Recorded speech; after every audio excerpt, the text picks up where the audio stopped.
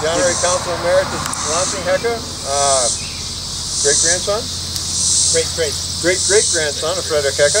Uh, he's formerly the Honorary Council. Uh, I, I succeeded him. Uh, we have Dr. Johannes Fechner uh, from the Bundestag. Uh, we have Dr. Steve Rowan from the University of Missouri St. Louis, who's a, the Hecker Scholar. Uh, he's translated and written a number of books on, on Frederick Hecker and the, and the Revolution of 1848. Uh, so at this point, I'd like to thank you very much for the for, uh, uh, for the Civil Civil War uh, reenactors who've shown up. Uh, they'll speak a little bit about what they do later. Right now, I'd like to give the second, please. Okay. So thank you all. Uh, it's a great honor for me to be here to commemorate a really uh, great man who stood for peace, justice and democracy his entire life, Friedrich Hecker. Friedrich Hecker had its roots in the most southern part of Germany, in South Baden. That's uh, the region I represent nowadays in the uh, German Bundestag, our federal uh, government.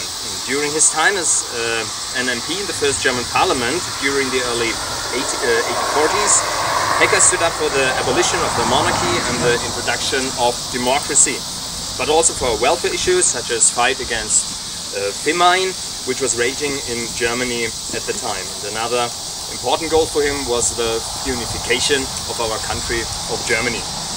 Disappointed by the lack of action following all of these parliamentary speeches, Hecker assembled re revolutionary Democrats around him to overturn the monarchy, establish freedom and democracy as the new form of government in Germany.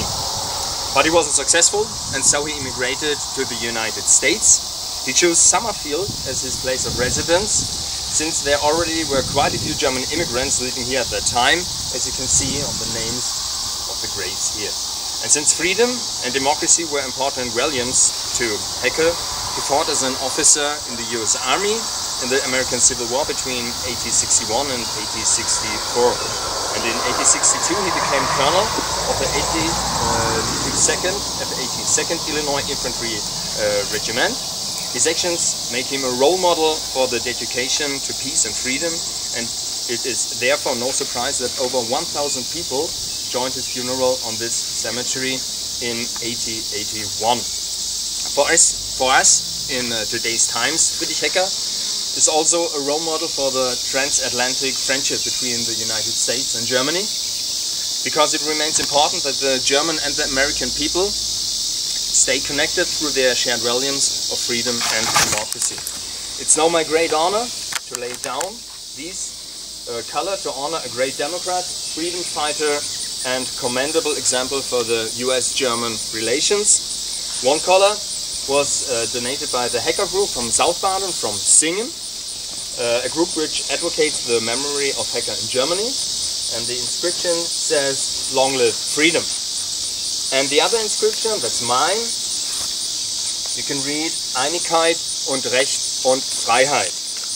That means unity and justice and freedom in commemoration to a great freedom fighter. I chose these words, Einigkeit und Recht und Freiheit, because those were the values of Friedrich Hecker and they are today uh, the title of the German national anthem. That shows how important those values still are today. And at least I'd like to thank you for joining us here for this uh, celebration. First of all, I'd like to thank uh, Mr. Rowan for organizing this event with the American Council Thank you. And it's a great honor to have a grand, grand, uh, grandson, grand, grand, the descendant of uh, uh, Mr. Lansing Hecker, Thank you for being here. It's really a great honor to be here to honor a man uh, like Friedrich Hecker. Thank you all for coming here. I'd like to introduce Dr. Stephen Rowan.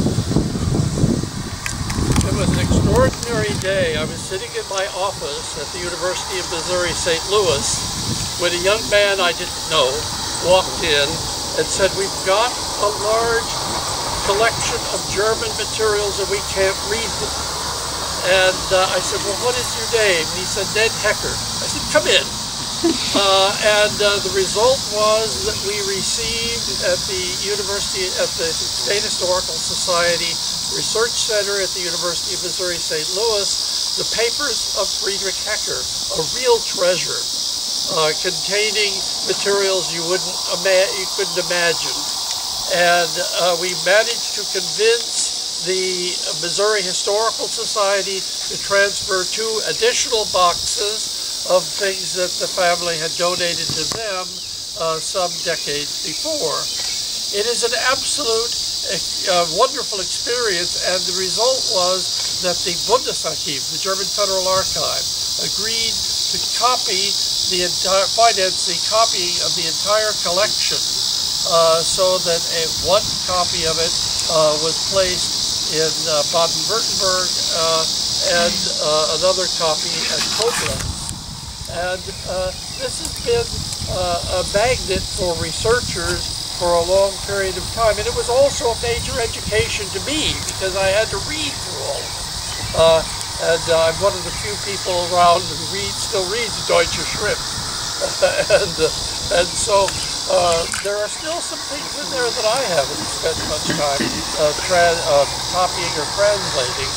Uh, that's for future uh, researchers. And in fact, there's a young man from Yale who is going to be arriving next week and will probably and will begin working with the Hecker papers.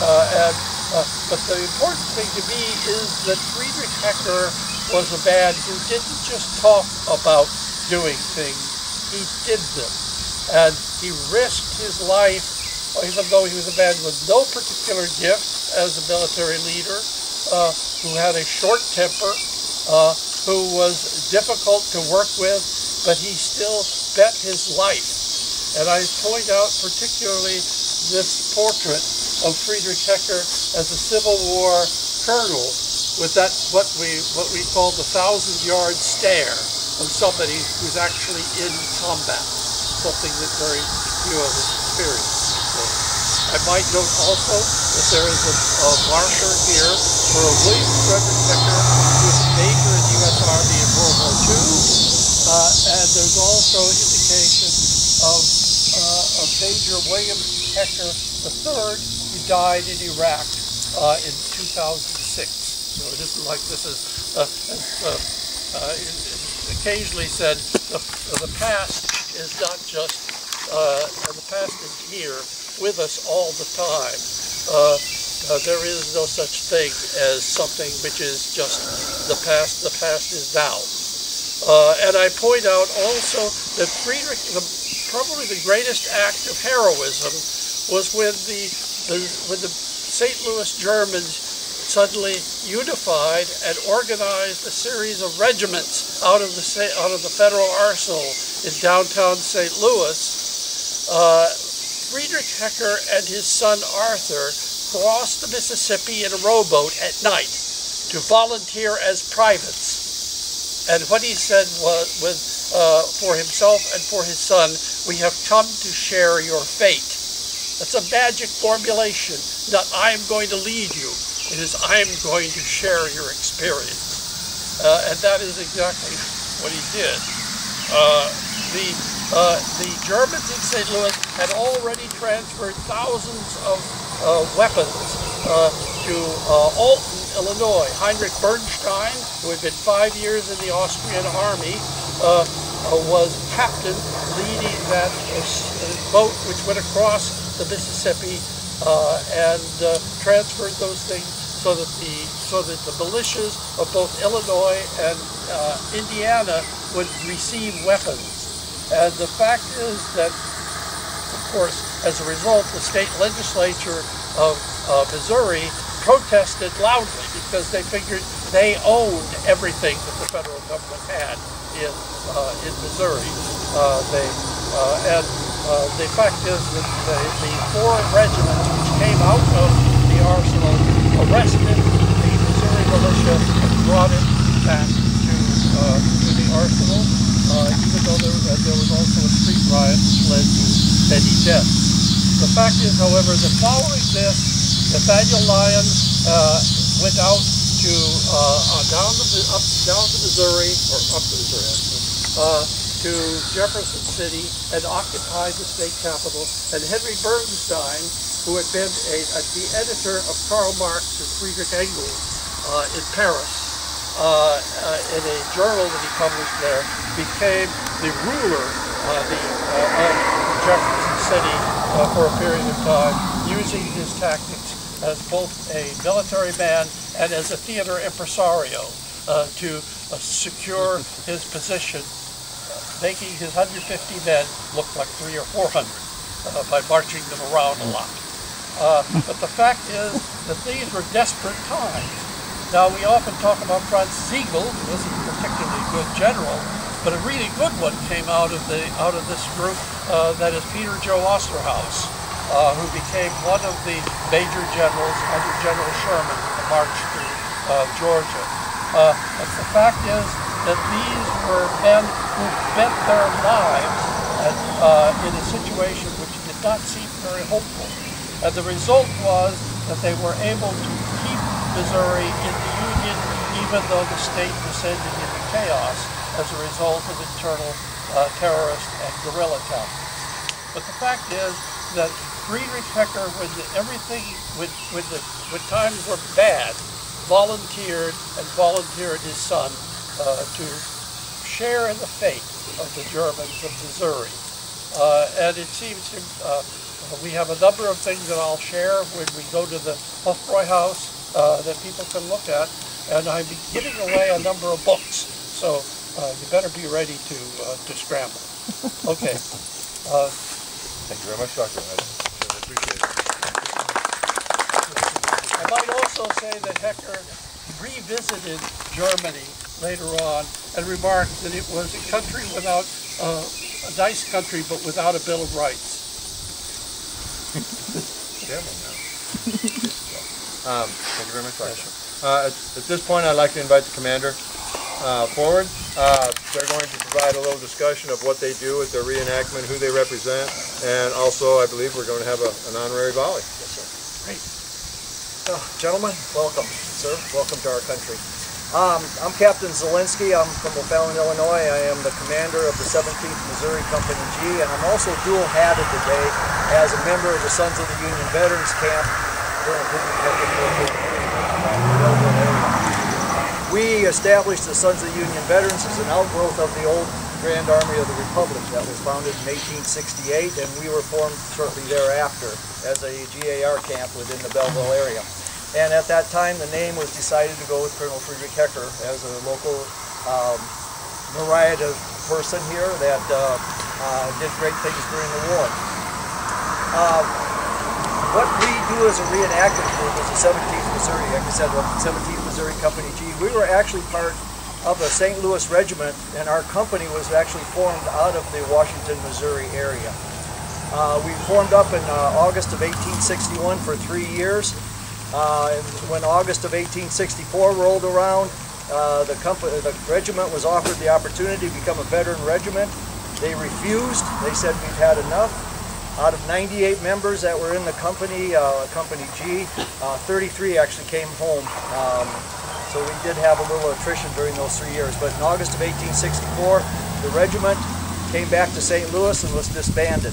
Uh, those individuals that decided they wanted to continue on, there was several of them, they were amalgamated into other units and continued the march with Sherman to the sea. Um, mentioned Colonel Osterhaus. Um, was our commander in the regiment, and he went on to become a general under General Sherman, um, and had a, a very uh, nice career. Yes. Uh, so what we're going to do today to pay honor and tribute to, to, first of all, to Colonel Hecker, second of all, to the dignitaries that showed up here, and most importantly to you guys that took the time out in this heat to come out here and do this, um, is to, uh, we will fire a three volley uh, uh, ceremony. And uh, what we want you to do at the time is not only pay uh, tribute to those three volleys, but also watch what the guys have to do to go through um, when it comes to loading these muzzle loader weapons. And as you're watching that, try to put yourself back in that time frame where you were in the line of the men or you were commanding those men and to see how your thought process would have to go in terms of how to fight battles based upon the, the rapidity and Uh, a good a good infantryman without under duress could maybe get three rounds a minute off. Under duress, he might get two rounds a minute off. We didn't hit crap. Uh, the guys, the, old saying goes that you almost had to shoot the amount, same amount that you weigh in lead before you hit somebody. So that's very true. So with that in mind, uh, what I'll do is I'll go back down and we'll get the guys. I'm going to bring them to attention. We're going to load. And then if I can clear a path behind us, we're going to do an about face for safety reasons. We'll fire three volleys. And then on the end of the third volley, I'll do an about face. We'll go to present arms. And uh, that's when we'll have caps played. So that's kind of the, the program that we're going to do from this point on. Marty, Marty, there's people back there. I think I'd prefer to have them back there. That way. Afterwards for a picture. Yeah, we can do that for a picture, yeah, but that, for safety purposes, I'd like to have them back there. Attention detail. Load.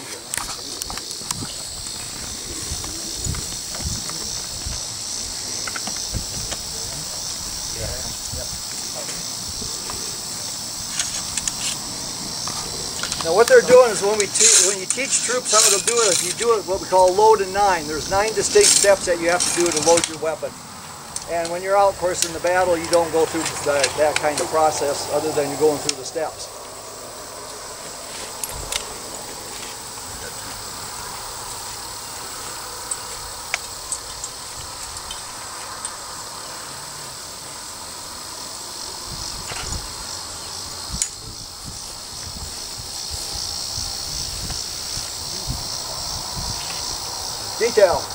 About. Hey. Colors. Two step forward.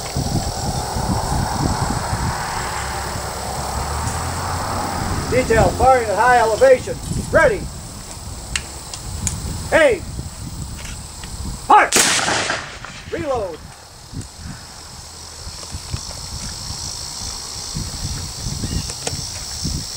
I don't think all three went off. Dick, you might want to check yours. I don't know if three went off.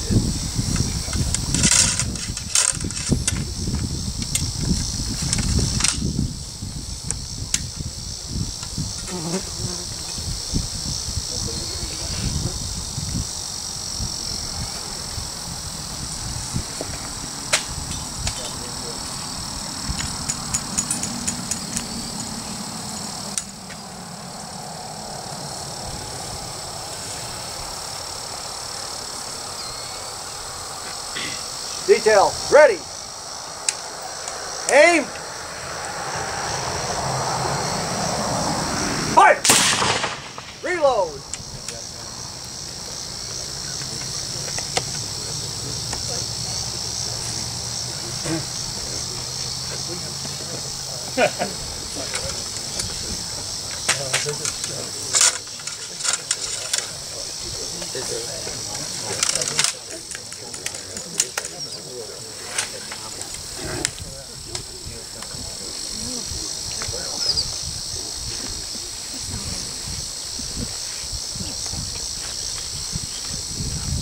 Detail. Ready.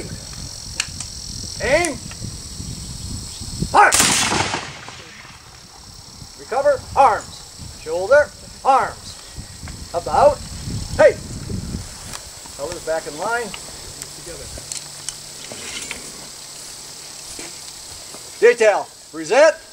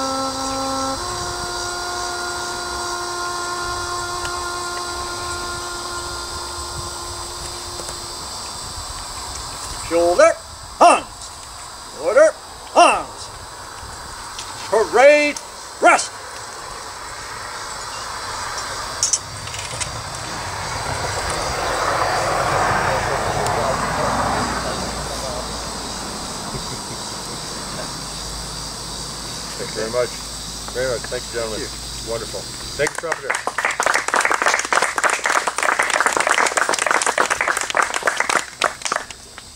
Okay. Uh, At this time, I'd like to express the appreciation of the Federal Republic of Germany, uh, the German Foreign Ministry, the Bundestag, uh, for everybody's uh, uh, visit and uh, being here today. Uh, We will be going to uh, the Hofbrauhaus uh, for a cold beer, desperately needed at this point, and uh, uh, and lunch, if you'd be so inclined. So feel free to join us. Thank you so much.